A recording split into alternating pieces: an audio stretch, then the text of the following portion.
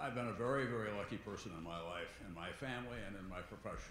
I've traveled the world, good times and bad, and I've met just about everybody that you would want to meet in my lifetime. But for a long time, I was trying to figure out how I was going to get to know Lefty Kreh.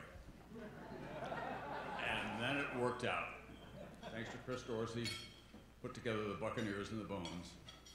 And I must say, it was a match made in heaven. There are so many times in our lives when we hear about people that are heroic in our eyes, and then when we meet them, we're a little bit disappointed because they're less than the sum of their parts. This man is more than the sum of his parts.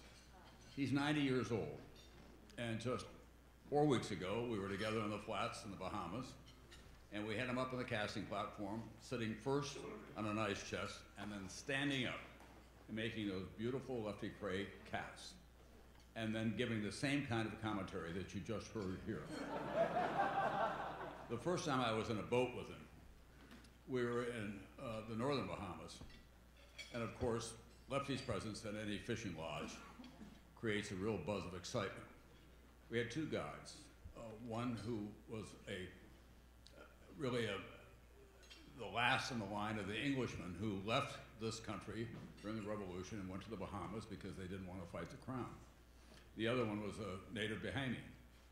Two boats, one camera, and one fishing boat. So we finally break for lunch. And our guide, who is the Englishman, in effect, gets up on the casting platform without saying anything. It is clear to me that he really wants to kind of show off his casting technique. Lefty and I were sitting back there having our lunch. And I said to Lefty, guy's pretty strong. Lefty has this wonderful verbal style. He has a kind of a verbal tick. He said, yeah, he's strong, but he's dumb. and the guy turned around and said, what did you say, Mr. Kreh? He said, I said, you're strong, but you're dumb.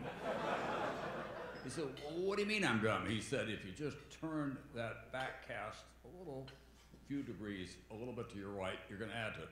Mr. Kreh, I've been fishing for a long time. He said, hmm, dummy, listen to me. he did as Lefty told him, added another 30 feet to his cast. Now the Bahamian guide gets up in the next boat, fully aware of who Lefty is and we repeat the procedure. I'm thinking we're going to start a race war at any moment. Fact is, Lefty went through the same routine. Strong, but dumb.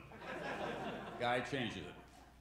That kind of goes away for me until we're back down in the Grand Bahamas at Deep Water Cay with the best guy they have, a guy by the name of Mecky that we all love to fish with. Mecky said, You know, Lefty, you were so helpful to me last year. I just want to show you how I've improved my cast. Like he gets up, casts, and Lefty says, mm, dumb, not doing the right thing. He said, well, what do you mean? He said, stop when I tell you to stop. So man makes a beautiful back stroke, gets up, and Lefty says, stop! And he goes another five inches. Lefty says, mm, dummy, I told you to stop. Tries two more times, and finally he stops when Lefty tells him to, as God is my witness, the line unfurled in a tight little, tight little loop, another 25 or 30 feet. That's the kind of master that you're dealing with. In all the years that I have been watching great athletes, everybody from Michael Jordan to the Final Four just recently, to the great baseball players I've known, including Sandy Koufax and others, who are at the top of their game. We're in the presence of a master of his craft. And it's very, very difficult to do, as we all know, with precision and perfection and have the kind of personality in which he's modest and constantly eager to teach people. Here's my final story. I was at uh, the Mayo Clinic this morning working on a project. And two and a half years ago, I was diagnosed unexpectedly with multiple myeloma, a cancer. It's a cancer of the bone marrow. And I'd had persistent back pain and so I went to the clinic finally and said the orthopedist hadn't been able to figure out something going on. And within eight hours, I had a life-changing experience. I was sitting in a small cubicle with a hematologist and my principal physician there. They said, you have a malignancy, it's called multiple myeloma. It's a bone and can, and blood cancer. For the next twenty-four hours, I stayed at the clinic, and I had MRIs, my wife was in Montana, and I didn't want to tell her over the phone, I wanted to be able to get there. I also had a fishing date with Lefty the next day. So I got diagnosed. Here I am facing a life-threatening disease. Charter a plane, get back to Montana. My head is reeling with what kind of a life am I going to have now? Meet Meredith at the ranch, late at night, fix myself a scotch, and give her this disquieting news that our lives are about to change. That I've got a serious form of cancer. Got up the next morning, put my fly rods, my waders in the car, all my fly boxes, and drove 200 miles to go fishing with Lefty Kreh. so when I told the doctors that today, they said, What the hell were you thinking? we had just given you a very serious diagnosis. And I said, You have to understand, you don't get these many opportunities in life.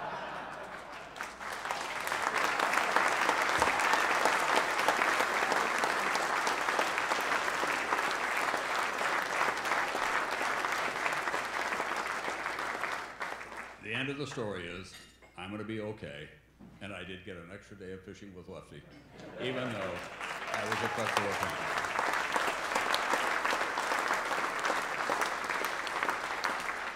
I have so many friends in this room, and I have so many people that I have fished with, really all over the world. Jim Wolfensohn, we had to leave a little bit earlier. We were in Shaka together, and Bruce back there, we were on the Kola Peninsula in, in Russia. I've been to Terra del Fuego with some of the people who have offered testimony. My friend Yvon Chouinard and, and Tom McGuane fished throughout the saltwater flats. I don't want you to get the impression that I'm a master caster. I'm not. I, you know, I'm constantly fine tuning and working at it. But part of the appeal for me is the camaraderie. The camaraderie I feel in the room here tonight. The common cause that brings us together. The great idea that you can go out on a trout stream or on a salmon river or in the flats or go to the far corners of the world. And there you are with a fly rod and some kind of an imitation fly.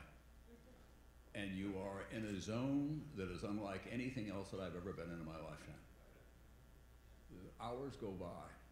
You're surrounded by the most beautiful forms of life, not just in the water, but on top of the water and all around you. And it is, I think, the greatest kind of therapy that you can possibly imagine.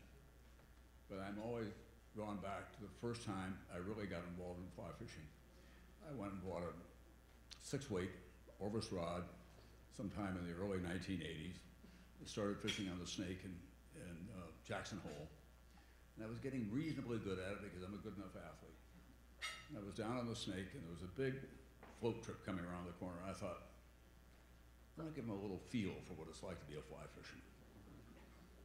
Stripped off a fair amount of line, did two back casts, and just as they went by, I let it go, including two sections of the rod.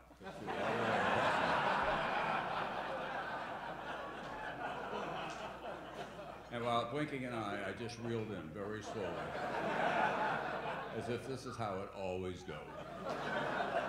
So thank you all very much. It's a great cause tonight. We're going to take.